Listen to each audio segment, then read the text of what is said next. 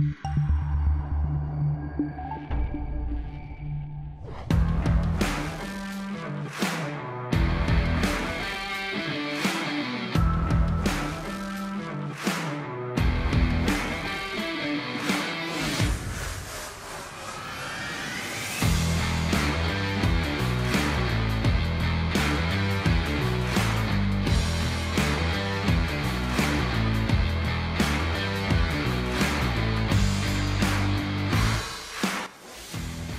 my name is Lowell Vanderpool, and this channel is dedicated to IT students, IT professionals, and anyone who enjoys learning technical subjects.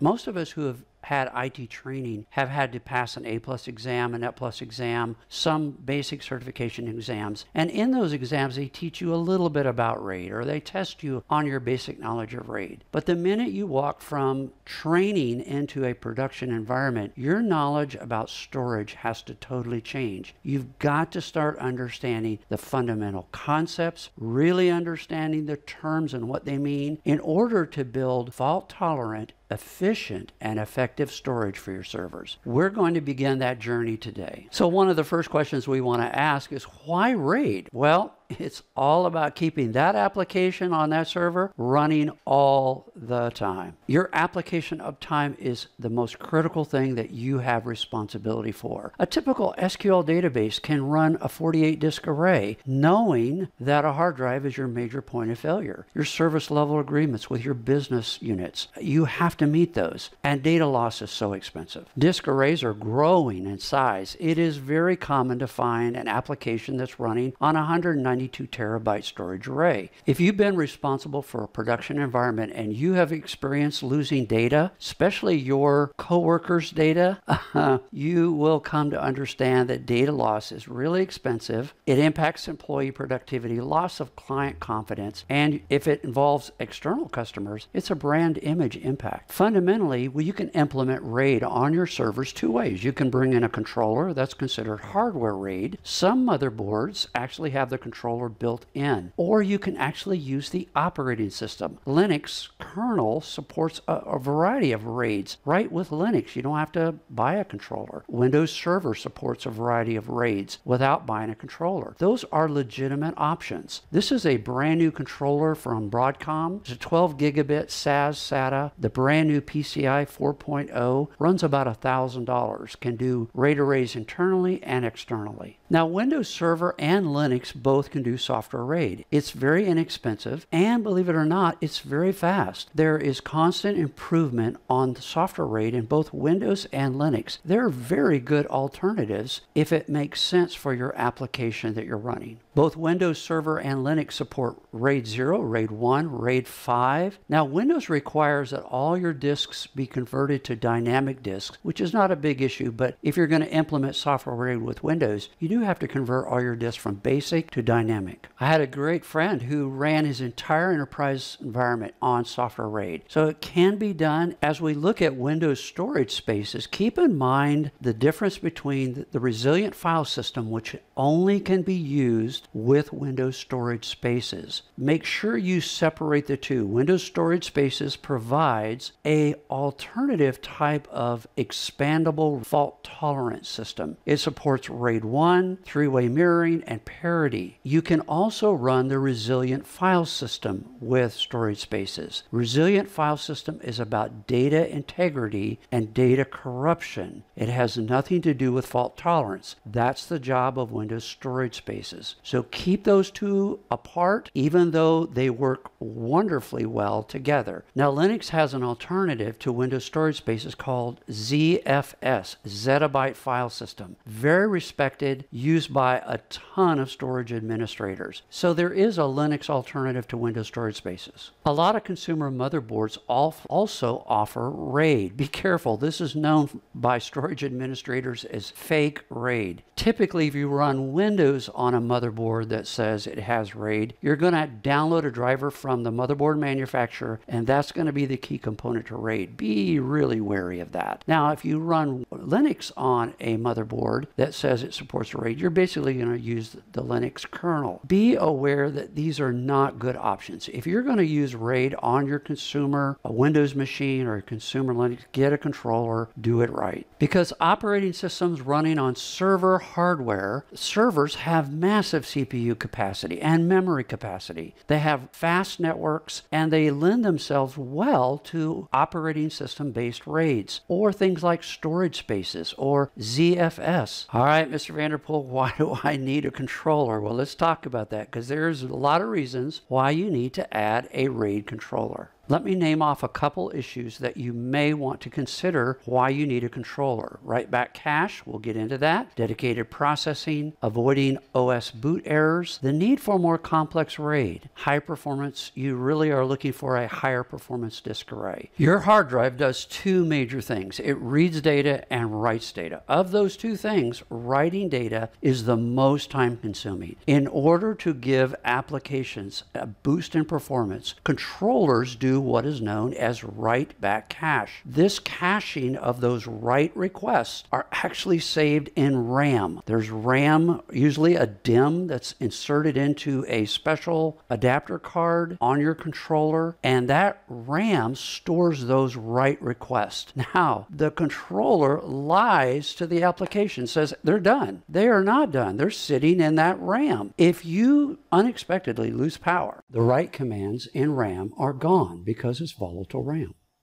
We always add battery backup to that RAM or a supercapacitor, but this write back cache significantly improves writing information to the disk. Now, all logical drives comprising of nested arrays like RAID 10, RAID 50, RAID 60, those logical devices must have the same write cache setting. Some applications and some configured servers have so much utilization just running the application that it makes sense to bring an array controller with a dedicated processor to offload that expensive RAID calculation and especially during a failed disk and we're doing a rebuild of the RAID. So there are definitely a reason why you would want to bring a controller in that scenario. If you use Windows or Linux to do software RAID, one of the ugly issues is if you have a boot problem, an operating system boot issue, because now you have not only a boot problem with the operating system, but you can't mount your RAID array. Sometimes it's better to separate the RAID array from the operating system so you're not trying to troubleshoot both of those issues at the same time. And by the way, those problems usually exist on Monday morning when we get into complex scenarios where we want spare disks for a RAID array. We want stripe size options for our RAID. We want to adjust read cache settings. We want to have rebuild priority options. We're going to build very large arrays, 24 to 60 disks. Or we want the ability to migrate from one RAID type to another, or things like run consistency checks, is definitely where we're going to have to have a RAID controller to do those kinds of things. This is a block diagram of a basic RAID controller. Some popular RAID server types is RAID 1, mirroring. It's common for operating system protection. This is very, very effective way of protecting C drive and your operating system. RAID 5 is one parity stripe, typically for a three drive data set. It's really a deprecated RAID system. Try to avoid RAID 5. RAID 6 is the king of the hill, really. Two parity stripes, protect you up to two hard drive failures, has pretty good performance performance, RAID 6 is a really good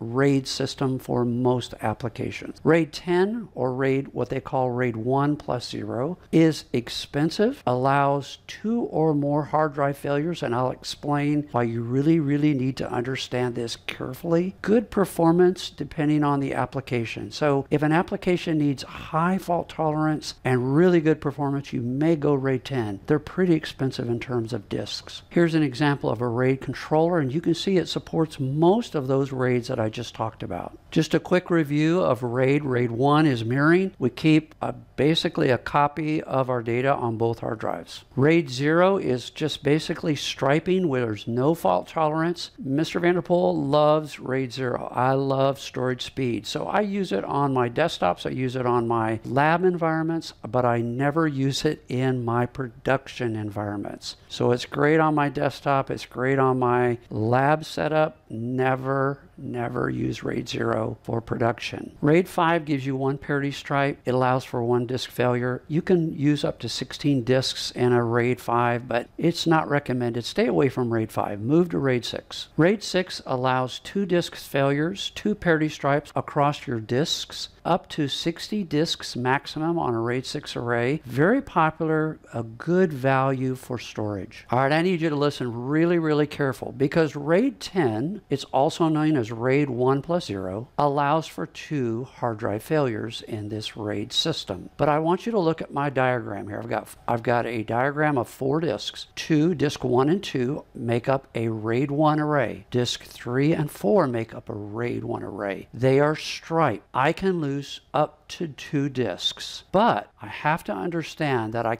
I can lose disk 1 in my first array, and I could lose disk 3 in my second array, and I'm good. But if I lose disk 1 and 2 in my first array, I have lost data. Very important that you understand how the drive failures protect you or not. This is a nested RAID where I have one RAID working on top of another RAID. This is expensive because it costs you a lot of disks to get this system. It does provide higher performance. So if you're dealing with the need for very high fault tolerance, very high performance, you may look, and money is not an issue, you may look at RAID 10. So RAID 60 is a very popular RAID system. Again, let's look at this very, very carefully. Look at my disk. I've got 0 to 7 on my disks in my diagram. I can lose two disks in the first RAID 6 array and be okay. I can lose two disks in the second RAID 6 array. I can't lose three disks and either one of those RAID 6 arrays. Very important you understand what disk failure you can absorb in your fault tolerance. This is a, a nested RAID type often used for critical databases. Now, RAID is all about protecting your application, keeping your server running should you lose a hard drive. What you have to understand is rebuild time. I've got a bad disk, I have to pull it out, put a new disk in, how long does it take the RAID system to get back to a stable state? That's known as rebuild time. Each RAID type has different rebuild times. As disks grow in size to 16 terabytes, this becomes really critical. So, for example, RAID 6 rebuild with 16 160 146 gigabyte 15k RPM takes about 90 minutes to rebuild a new drive. A failed 14 terabyte disk could take as long as several days to become back to a stable state. So recovery time is very important. Now, some controllers actually allow you to give more processing time to the rebuild than the production application so that you can rebuild your array quickly. So just be aware of that. Rebuild time is very important. A critical concept in measuring the performance of our servers is using benchmarking tools. Those benchmarking tools are greatly impacted by caching. Now, caching is multi layered. When you have a Mac or a Linux box or a Windows, you have multiple layers of caching. You, as a storage administrator and IT professional, have to understand all of them in order to understand how to measure the performance of your storage. So, first of all, what is cache? It's memory and predictive algorithms. Those predictive algorithms try to think ahead of you, get what you need before you need it, and have it in fast memory. So, caching is always making something slow look faster than it really is. All hard disks have caching, they have predictive algorithms, and they have memory on your hard drive that is dedicated to looking and pulling data off the platter, putting it into fast RAM before you need it so that when you do ask for it, you can shoot it to the host, the operating system, very, very quickly. I want you to look at our diagram here of a hard drive. The worst situation is number one. You see a red line going from the platter of the hard drive up to DRAM and up to the host. This is the worst scenario. You don't get any caching here. You're reading it off the platter. A better scenario is reading ahead on the platter, getting it off the platter onto DRAM, moving it to the read cache, so that I can quickly send it to the host. That's the best scenario. This is very complicated. The algorithms are very carefully engineered by software and hardware engineers. There is a lot of effort in designing effective cache. So here's another layer of caching. And remember we talked about write back caching on the RAID controller. So here you see a controller. I've got a photo of my server controller and that card that you see inserted into that slot is actually a DIMM module that's specially designed to handle those write back cache commands. It's battery backed up. In fact, this one is got a supercapacitor that backs up that DIMM. So in case I lose power, the same thing is true. I'm lying to the application, telling it everything is done, but they're sitting in here waiting for the controller to send those write commands to the disks. All right, Mr. Van, surely we're done with all caching. No, we just begun. The operating system also does its own caching. This is very true. In fact, your operating system, if you turn off your operating system file system cache, you're going to cry at your desktop. You're going to be hated on your server. This particular uh, caching file system is run in kernel mode. It's transparent to your applications. It uses a, a demand-based algorithm. These are very complex systems.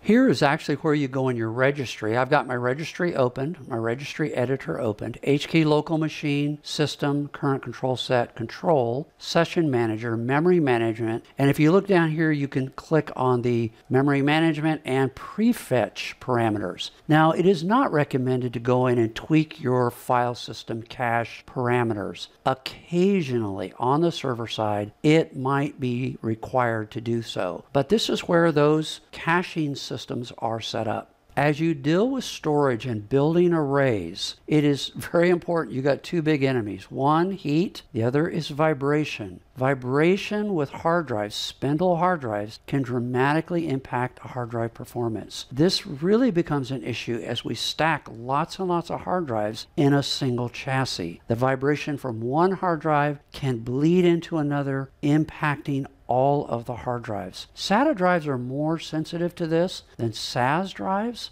but engineers have measured up to 10% performance degradation caused by vibration in large disk arrays. There are lots of arrays that provide these kinds of anti-vibration mounts. Take a look when you're looking at arrays, make sure they're considering vibration, anti-vibration systems. Google actually has a hard drive anti-vibration patent so that you, they can put lots of hard drives into an array. This device, actually, right out of their patent, has a polymer materials that actually enhances vibration absorption and acoustic noise. Temperature is a killer of hard drives, so know your temperatures. Overheating can dramatically Im impact hard drive performance. Seagate claims from 5 degrees to 50 degrees Celsius is their operating temperature. That's 41 degrees Fahrenheit to 122 degrees Fahrenheit. I would not go to 120 degrees Fahrenheit. Most agree that hard drives running at 45 degrees Celsius or higher have a much higher failure rate. Keep your hard drives cool. If you're not monitoring your hard drives you need to, go to CPUID.com. It's a very respected group of engineers who write software for hardware. They have a hardware monitor that's free. They also have a professional one that you license. These are two great utilities for watching the temperature of all your components on your motherboards. These, this software works both on servers and consumer products.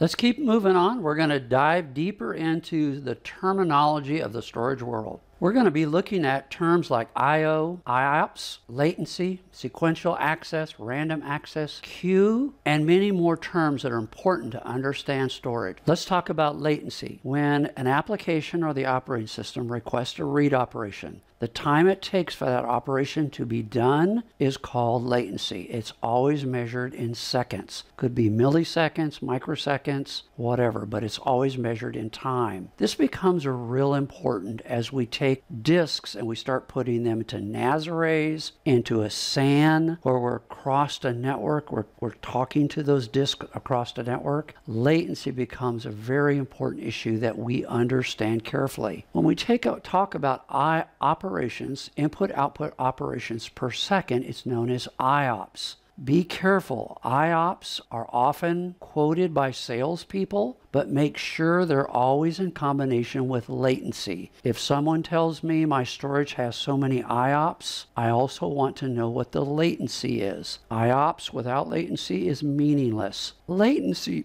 is what kills USB hard drives. You can take a good hard drive, put it into a USB enclosure, and it's just horrible. The reason is latency. Look at my picture showing bandwidth and throughput. USB, let's we'll use USB 3.1 has a bandwidth of 5 giga, gigabits per second. But the throughput of a USB hard drive is awful. It's terrible. So it isn't that my hard drive quit working as well because I put it in a USB enclosure. It's my bandwidth 5 gigabits, but my throughput in USB is always pitiful, which makes USB hard drives awful. Latency has a big impact on external storage. So if I've got an external array that's connected to a 3.15 gigabits bandwidth USB bus, but my throughput is who knows what, pretty bad. That that disk is going to have latency. Those IOP operations are going to be combined with latency, giving you poor performance. If my storage array is on a 10 gigabit LAN,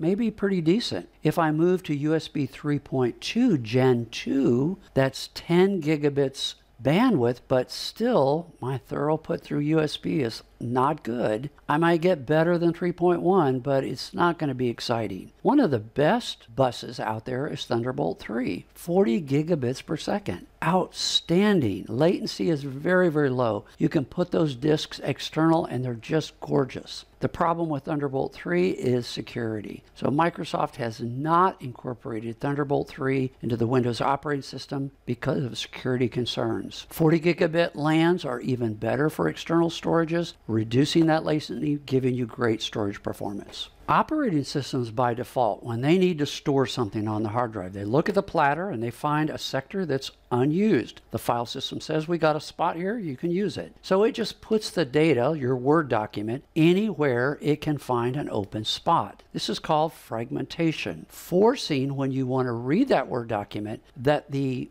head and platter have to seek to find that those sectors where you put that word document at, that is known as random data. When I measure performance, I want to make sure this is a more realistic way of measuring disk performance is using random data access. Now, sequential data access, the best analogy that I can think of is a vinyl record. Some of you have no idea what I'm talking about. You put it on a turntable, you put the needle on the outside of the vinyl record, and you listen to five songs as it goes from the outside of the, the LP record to the inside track and lifts and sets down. That's sequential. You're listening to music sequentially on the vinyl record. Now, in terms of data, we see sequential data in things like imaging a hard drive, where it just starts reading from one the sectors continuously until it copies the hard drive. Most backups are pretty much sequential data where you're reading one sector after the other continuously. This is a way you can also measure data on a hard drive. Queuing, very important. Don't get queuing confused with caching. Queuing is a buffer. As we send read write operations to our disk, there is a queue that will take those those requests and kind of stack them up because it maybe can't do them all at one time. So each command that you send to a hard drive is put into a queue.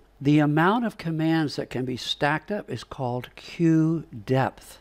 SATA drives have a single queue and they have typically a queue depth of 32. 32 commands can be put in that queue. SAS drives have one queue and they can go up to 256. Now, there are enterprise SATA drives that have a queue of 256 also, but most of the consumer uh, drives that you buy, spindle drives, are going to have a queue depth of 32. So it gets more complex. So I've got all these commands in my stack, and the hard drive is waiting one at a time to execute those commands. This is called first in, first out. So look at my my hard drive with the red lines, and this is a first in, first out, non-intelligent hard drive that is executing commands in the queue. To read a sector on 4, 3, 2, and 1, and look how many times the hard drive has to rotate in order to execute four commands. It has to rotate almost two full rotations. Now, over here on the hard drive that has the green lines, this is known as native command queuing. They put intelligence in the queue. It looks at the commands in the stack and says, hey, I think I can do a better job and rotate the disk less frequently and still get more done with less rotations. SATA use native command queuing. Let's look at an, a real life example and the problem with queue. I've got a SATA drive, one queue, a queue depth of 32, and on my desktop, I'm running an e-commerce application. You can buy something, you can pay with your credit card, and we'll send you delivery and tracking information. So my e-commerce application, you can see in the block diagrams, it has user authentication, shopping cart management, purchase and payment, tracking and delivery. All those are processes and microservices that are running. And they're all hammering that poor little hard drive with one queue, a queue depth of 32. If I realistically tried to do that on a PC with one hard drive, you could see it would take you a half hour to buy anything from my e-commerce application. Let's take a look at what happens when we add a controller. Now I'm back to the same e-commerce application, microservices all needing access to the hard drives. Now I've got five or six SATA drives hanging off a controller. The controller has its own queues and its own queue depth. Now as all these application processes, microservices are hammering the controller, the controller can very easily pass on IO requests to the various disks, giving this application five seconds to finish your purchase and you're a happy customer. You can see the importance of understanding queuing. It's important to understand that queuing is done by both disk, controller, and yes, your operating system. Now, queue depth is a feature of the disk, the controller, and the operating system. Windows does not give you the ability to adjust your queue depth on the operating system, but some controllers do allow you to manage your queue depth. So here I've launched Task Manager and I'm looking under the Performance tab and I can look at my disks and over here I can see I.O. read speeds and write speeds and these could be in kilobytes or megabytes per second, but this gives me some idea of I.O. demand on my disks.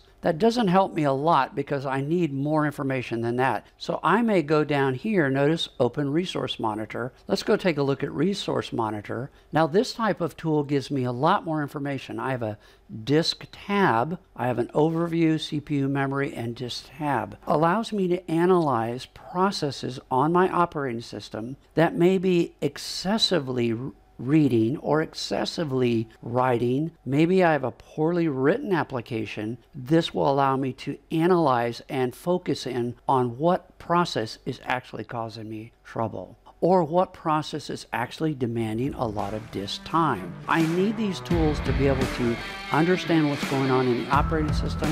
What are they doing to my disk subsystem?